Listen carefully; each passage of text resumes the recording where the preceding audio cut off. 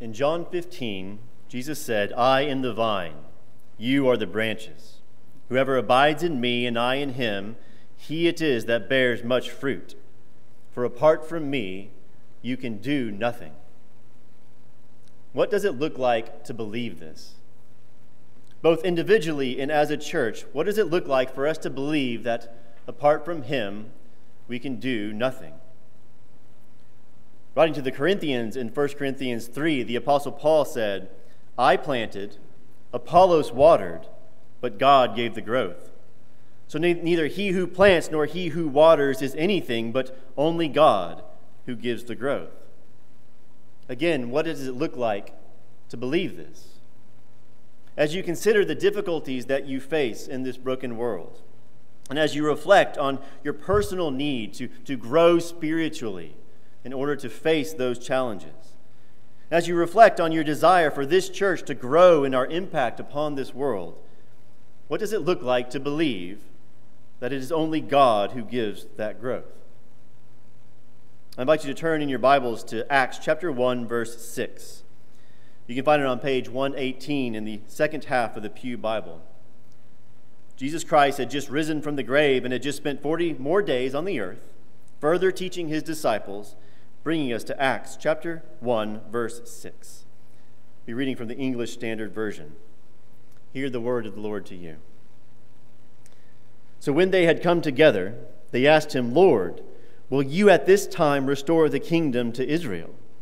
He said to them, It is not for you to know the times or seasons that the Father has fixed by his own authority. But you will receive power when the Holy Spirit has come upon you, and you will be my witnesses in Jerusalem, and in all Judea and Samaria, and to the end of the earth. And when he had said these things, as they were looking on, he was lifted up, and a cloud took him out of their sight. And while they were gazing into heaven as he went, behold, two men stood by them in white robes and said, Men of Galilee, why do you stand looking into heaven? This Jesus, who was taken up from you into heaven, will come in the same way as you saw him go into heaven. And they returned to Jerusalem from the mount called Olivet, which is near Jerusalem, a, a Sabbath day's journey away. When they had entered, they went up to the upper room where they were staying. Peter and John and James and Andrew, Philip and Thomas, Bartholomew and Matthew, James the son of Alphaeus, and Simon the Zealot, and Judas the son of James. All these with one accord were devoting themselves to prayer, together with the women and Mary, the mother of Jesus, and his brothers. Let's pray. Father, we thank you for the gift of your word to us. By the Holy Spirit, apply your word to our hearts that we might recognize our utter dependence upon you for spiritual growth, for fruit in ministry, that we might devote ourselves to prayer. Bless the preaching of your word. In the name of Jesus we pray. Amen. Well, the 11 remaining disciples are called out by name in verse 13, but it's not just them who are gathered here. As verse 14 notes, they were gathered together with the women. Well, who were they? Well, from Luke 23, we know that some number of women had come with Jesus and the apostles from Galilee to Jerusalem. These women were there with Jesus when his lifeless body was laid in the tomb on the evening of Good Friday. It was these women who were first discovered who first discovered the empty tomb. Several, though not all of them, are named in Luke 24, verse 10 Mary Magdalene, Joanna, Mary the mother of James, and then it says others. And then here in the upper room in Acts chapter 1, we see that Mary, the mother of Jesus, and his brothers were there as well. Likely referring to the younger brothers and sisters of Jesus that were born to Mary following the virgin conception and birth of Jesus. We read about them in Matthew 13. Some of them are named. And this reference to his brothers might, might also be referring not just to his siblings, but also to all the other disciples as well given that the next verse, verse 15, speaks of there being in all about 120 people there in Jerusalem following Jesus. As these very first Christians gathered together, what are they doing? They're praying. It doesn't say exactly what they're praying for, just that with one accord they were devoting themselves to prayer. Or as the NIV renders it, they all joined together constantly in prayer. That's what marks their lives fervent, continual prayer. Now, in the context, one of the things they were surely praying for as they gathered together was for God the Father and God the Son to send God the Spirit upon them, as Jesus had promised, both in the Gospel of John repeatedly and then here at the beginning of Acts. But why? Why, why would they have so desired the gift of the Holy Spirit that they would devote themselves continually to prayer until they received that gift? Well, for, for one, Jesus had just left the earth. He wouldn't be returning anytime soon. So, so they were longing for God's presence with them once again. So they prayed for the Holy Spirit. But, but it's more than that. They longed for the gift of the Holy Spirit because they recognized their desperate need for the power the Spirit would grant them to accomplish the mission that Jesus had given to his followers. As Jesus explained in verse 8, but you will receive power when the Holy Spirit has come upon you, and you will be my witnesses in Jerusalem and in all Judea and Samaria and to the end of the earth. To be his witness is to fulfill the charge to go, therefore, and make disciples of all nations, baptizing them in the name of the Father, and of the Son, and of the Holy Spirit, teaching them to observe all that I have commanded you. Matthew 28. But they can't fulfill that charge. They can't fulfill the charge to go and make disciples without the work of the Spirit in them. And so they remained there in Jerusalem for 10 days, devoting themselves to prayer until the day of Pentecost arrives. The Spirit comes upon them, and they all begin to publicly proclaim the mighty works of God. Peter stands up to explain what has just happened to, to those who are confused and looking on. He concludes his sermon with these words in Acts chapter 2, verse 36. Acts chapter 2, verse 36. Let all the house of Israel therefore know for certain that God has made Christ both Lord and Christ, this Jesus whom you have crucified. Now, when they heard this, they were cut to the heart and said to Peter and the rest of the apostles, Brothers, what shall we do? And Peter said to them, Repent and be baptized, every one of you, in the name of Jesus Christ for the forgiveness of your sins, and you will receive the gift of the Holy Spirit. For the promise is for you and for your children and for all who are far off, everyone whom the Lord God calls to himself. With many other words, he bore witness and continued to exhort them, saying, Save yourselves from this crooked generation. So those who received his word were baptized. There were added that day about 3,000 souls. They devoted themselves to the apostles' teaching and the fellowship, to the breaking of bread and the prayers. So, having now received the gift of the Holy Spirit, what are they doing now? Well, they're devoting themselves to the apostles' teaching, now available to us in the form of the New Testament. And thus, we too devote ourselves to studying all that God has spoken through his prophets. They are devoting themselves to the fellowship, to everything associated with partnering together as a church helping one another to, to worship God, helping one another to, to grow in Christlikeness, to bear one another's burdens, and to spread the gospel. This includes the breaking of bread, it says. Now, there's an argument to be made that this phrase, the breaking of bread, is, is meant to refer to the celebration of the Lord's table as we do each week. Certainly, that's a very important part of our fellowship together, but it's actually not clear if this particular phrase about breaking bread explicitly refers to that. At the very least, it includes enjoying table fellowship as they dine together in one another's homes. It's noted in verse 46. But notice the, the last part of verse 42. They devoted themselves to the apostles' teaching, to the fellowship, to the breaking of bread. They devoted themselves to the prayers. It's a bit of an overly literal translation. Other English translations render it to prayer. They devoted themselves to prayer. Again, they're no longer waiting for the the gift of the Holy Spirit. They've received that, that's already happened. And yet, we, we still find them devoting themselves to prayer. Why? Because that's what it means to be in relationship with God. A marriage in which there is never any conversation can hardly be described as a relationship, right? There is no relationship without conversation, and prayer is our side of our conversation with God. Prayer is speaking to God, pouring out your heart before God, as Psalm 62, verse 8 commands us to do. Trust in Him at all times, O people. Pour out your hearts before Him. God is a refuge for us. It's about relationship. Or, or put differently, prayer is one of the chief expressions of our faith. Where there is faith, there will be prayer. Where there is no prayer, there is no faith. Every time we pray, we are, we are consciously giving expression to and, and exercising and strengthening our faith. We're giving expression to our belief that God exists, that He hears our prayers, that He is powerful enough to respond to our prayers, that He cares about us, that He cares enough to listen and to act, that He exists, that He hears, that He can act, that He cares. And also, not only that, Every time we pray, we are openly acknowledging our dependence upon Him. A life devoid of prayer is a self reliant life. And a self reliant life is necessarily devoid of spiritual peace and spiritual power. Every time we pray, we're exercising and growing both in faith and in humility.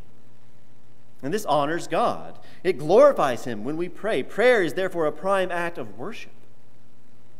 One of the main ways that we worship God and experience intimacy with God, enjoying our relationship with God, is through prayer.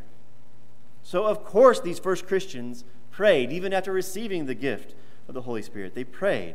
Prayers about relationship and intimacy, faith and trust, dependence and humility, worship and joy.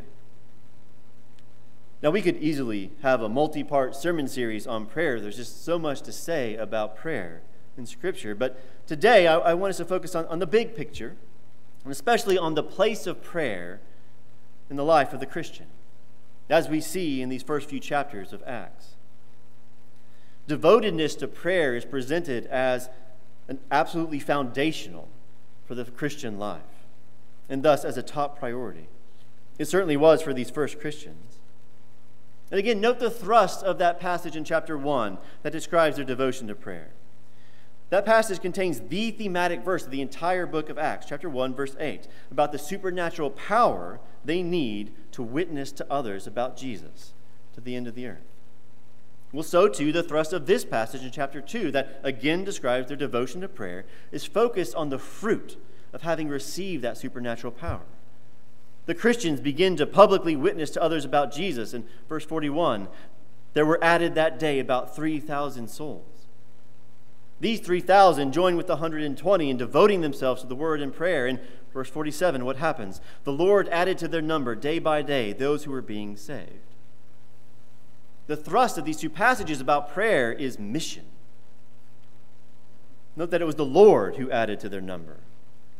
Only God gives the growth and so we must pray. We must pray for the Lord to empower and embolden our faithfulness to live for Him. We must pray for the Lord to cause that faithfulness to lead to fruitfulness, that He would add to our number day by day those who are being saved. We must not expect Him to do for us what He did for them if we're not doing what they did, if we are not equally devoted to the Word and to prayer. Text goes on in chapter 3. Peter and James, they, they heal a lame beggar at one of the temple gates, which suddenly draws a huge crowd. And so Peter begins to publicly witness, preaching about repentance and faith in Christ. Another 2,000 people are saved on that day. Peter and John are therefore arrested by the religious authorities who feel threatened. The next day, Peter and John are brought before the Sanhedrin, the, the ones who were responsible for the execution of Jesus.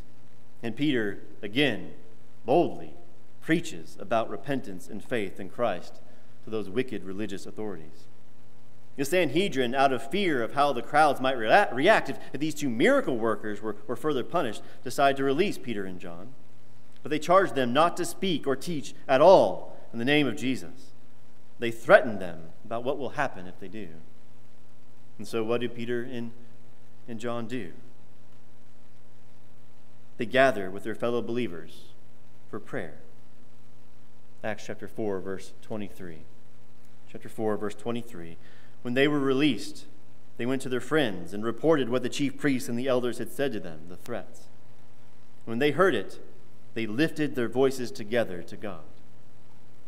And then we have recorded the second recorded prayer of any Christians ever. The first recorded prayer is at the end of chapter 1, just before Pentecost, when the Christians were praying for God to appoint another apostle, thus making this in chapter 4 the first recorded prayer following Pentecost. The first re- recorded prayer of spirit indwelt Christians. And like the first prayer recorded at the end of chapter 1, it's a corporate prayer, meaning that it's prayed aloud in the presence of the assembled congregation. What that look like? Well, we're not told whether one person stood and prayed aloud on behalf of the assembly, as the rest prayed silently in their hearts, as we so often do in, in our gathered worship on Sunday morning, such as the, the pastoral prayer. Or, or, or, we're not told whether maybe they, they followed the, the common Jewish liturgical procedure, where one person would pray a phrase at a time, and the others would repeat that phrase, phrase by phrase, as, as we do at the children's moment or whether they took turns contributing to the prayer one by one. We, we, we, simply don't know. We just know that they lifted their voices together to God. And as they lifted their voices together to God, they begin with these words Sovereign Lord. They begin by acknowledging God's sovereign rule over all things. And they quote from Psalm 146, verse 6, which is part of our call to worship this morning. They say, Sovereign Lord, quote, who made the heaven and the earth and the sea and everything in them. They're praying Scripture, quoting God's words back to Him. As an aside, if you find it hard to pray when you sit down to pray, perhaps it's because you're not letting God start the conversation. Take time to listen to His word first, and then respond to what He has said in prayer allowing Scripture to shape your prayer. Is a good example for us. We see it throughout Scripture. What they pray, verse 25 Sovereign Lord, who through the mouth of our father David, your servant, said by the Holy Spirit, quoting Psalm chapter 2, Why did the Gentiles rage and the peoples plot in vain? The kings of the earth set themselves, and the rulers were gathered together against the Lord and against his anointed.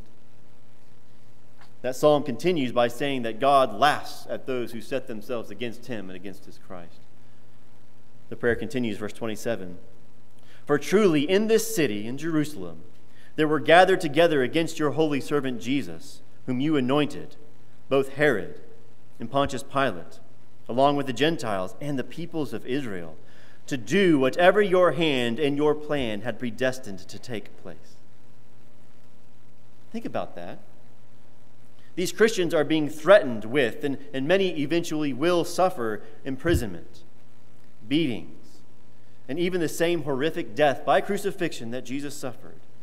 And yet, they stop to acknowledge in prayer that God laughed at the attempts of the religious and governing authorities to silence Jesus by killing him.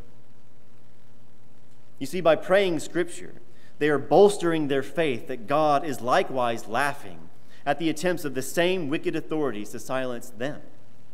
For God will build his church. These evildoers are simply fulfilling the plan God had predestined to take place. And this knowledge gives them strength and it motivates them to pray. For anyone who wrestles with the philosophical question of, of why we should make requests to God in prayer when he already knows both what we're going to pray and what he's going to do, notice that quandary did not hinder these Christians from praying. This prayer strongly affirms both God's sovereign decree of all things that take place, while at the same time affirming the importance and the efficacy of prayer. We don't need to understand how prayer works in order to pray. We simply need to trust that it works and pray. Having acknowledged God's sovereignty, they, they then make their request in verse 29. And now, Lord, look upon their threats, and grant to your servants to continue to speak your word with all boldness, while you stretch out your hand to heal. And signs and wonders are performed through the name of your holy servant, Jesus. How interesting that they don't pray for the persecution to cease.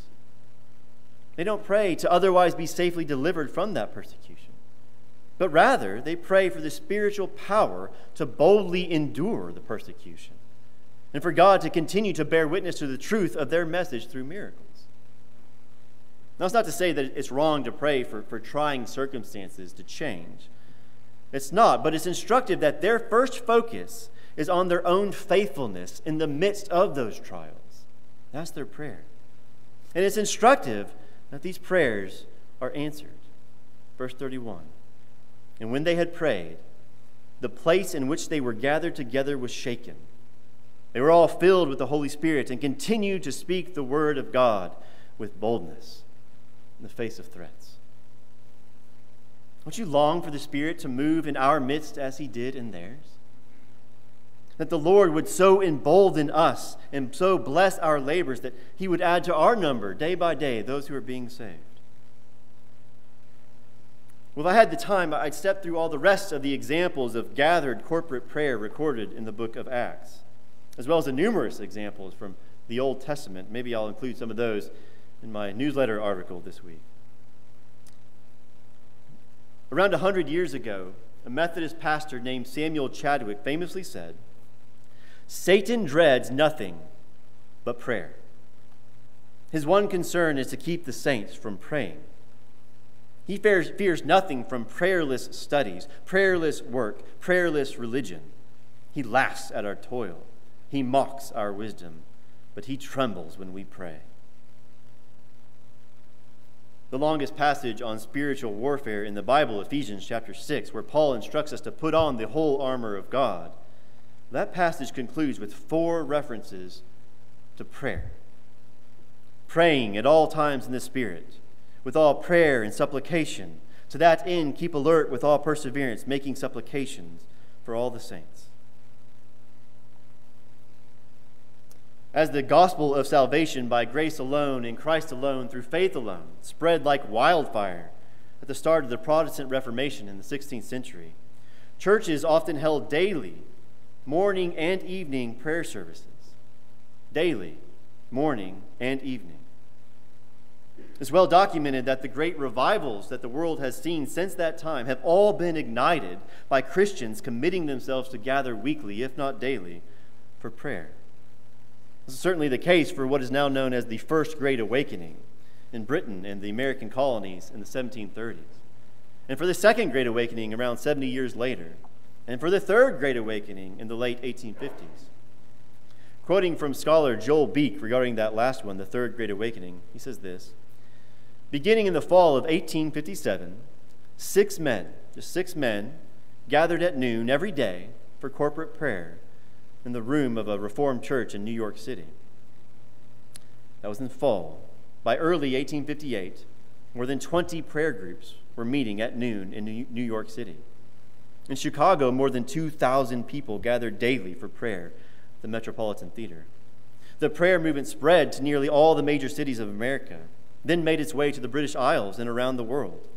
Prayer meetings sprang up everywhere in churches, on college campuses, in hospitals, among sailors, on mission fields, and at orphanages and colleges. Scholars estimate that 2 million or more were converted in the revivals of the late 1850s, while hundreds of thousands of professing Christians were deeply affected. And then, shortly after that revival in the 1860s, Charles Spurgeon organized prayer meetings at the Metropolitan Tabernacle in London. People met at 7 a.m. and 7:30 p.m. every day, 365 days a year, twice a day. More than 3,000 came to the meeting every Monday evening. Can you imagine a regular prayer meeting of 3,000 strong? Charles Spurgeon said this in one of those prayer meetings how could we expect a blessing from God if we are too idle to ask for it? How could we look for a Pentecost if we never met with one accord in one place to wait upon the Lord? Brethren, we shall never see much change for the better in our churches in general, till the prayer meeting occupies a higher place in the esteem of Christians. You will never become a praying person until you resolve to be a praying person. And we will never be a praying church until we resolve to be a praying church. So I'm asking you to resolve to make prayer a priority this year. Lord willing, 6 weeks from today on Sunday, March 6th at 4:30 p.m., we will gather for the first of our weekly Sunday evening gatherings. These Sunday evening gatherings should be no more than an hour in length. We'll begin by singing a song or two, and then we'll have 10 to 20 minutes of sharing where I, will I'll call on people who I've already spoken with in advance to, to briefly share about some discipleship or outreach activity that they're involved in, whether in association with one of the committees of our church or, or better yet, something they're engaged in on their own, in their neighborhood, in, in their workplace, in their, their circle of friends and family, and in their social clubs or, or hobby groups. Not only is this a chance for us to come alongside one another in praying for these, these kingdom activities, it's a chance to invite others to, to come help participate in these activities where appropriate. It's also a chance to hear about new ideas of activities that, that you could implement in your own spheres of influence. During this 10 to 20 minutes of sharing, but before I call on a person to share, I'll get someone else to volunteer to pray for what is about to be shared during our time of prayer. That's the next 15 to, to 20 minutes or so. Those who have volunteered to pray for something that was shared will, will take turns to, to offer brief one to two minute prayers as we all join along in our hearts. And then following that, we'll have 10 to 20 minutes of teaching of some kind. Sometimes it'll be a brief devotional on some passage of Scripture, possibly related to the sermon text from that morning. Sometimes it might just be further teaching on the sermon text. There's far more I could say about prayer today. Other times it might be teaching on a topic that has come up that needs to be addressed, but that really doesn't work very well in a Sunday morning sermon. Other times it will be training and discussion on things like personal evangelism and prayer. And then, time permitting, we'll close by lifting our voices together once more in song. About an hour every Sunday evening. So mark it on your calendars now. Sunday, March 6th at 4:30 p.m. and weekly thereafter. And begin now in the next 6 weeks leading up to that to pray for the Lord to bless these evening gatherings. As the old saying goes, a family that prays together stays together. Well, so too, a church that prays together stays together. And a church that does not pray together should not expect to stay together. They should not expect their lampstand to remain lit. They should not expect the Lord to bless their ministry labors. Apart from Him, we can do nothing. Only God gives the growth. So let us, with one accord, devote ourselves to seeking Him in prayer. Let us pray. Father, in this moment, we humbly acknowledge our dependence upon you for all things. We confess and we repent of any prayerless self reliance and of any loveless indifference toward the plight of those who do not know you around us. By the Holy Spirit that you have given to us, as you gave to the first Christians at Pentecost, grant us the resolve to be a praying church, that we may each individually grow spiritually to face the difficulties of life in a broken world and to live for you. And as a church, that we may grow in our impact upon this world. Bless the preaching of your word. In and for the name of Jesus Christ, we pray. Amen.